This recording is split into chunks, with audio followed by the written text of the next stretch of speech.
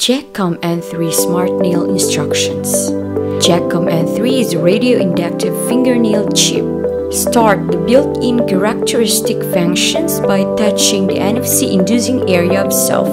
Applicable to all Android phones supporting NFC and applicable to Apple iPhone launched after September 2018. Example, iPhone XR, iPhone XS, iPhone 11. Before use, Android mobile phone users shall open the NFC functions. Confirm that the mobile phone has installed and log on to WhatsApp. Scan the QR code shown in the manual and open the link page.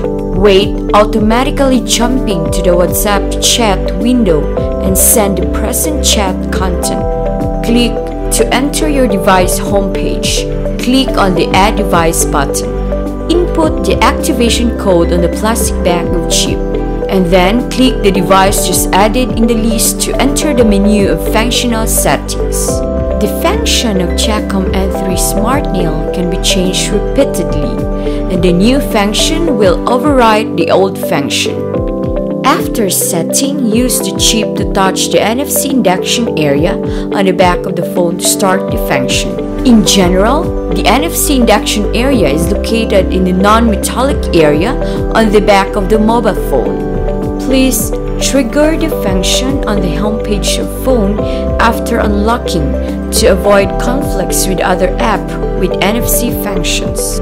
If it is prompted to select the app to open, please select web browser. When wearing and installing, please gently polish your nail first. And then tear the package, take out the chip and peel off the backgum film.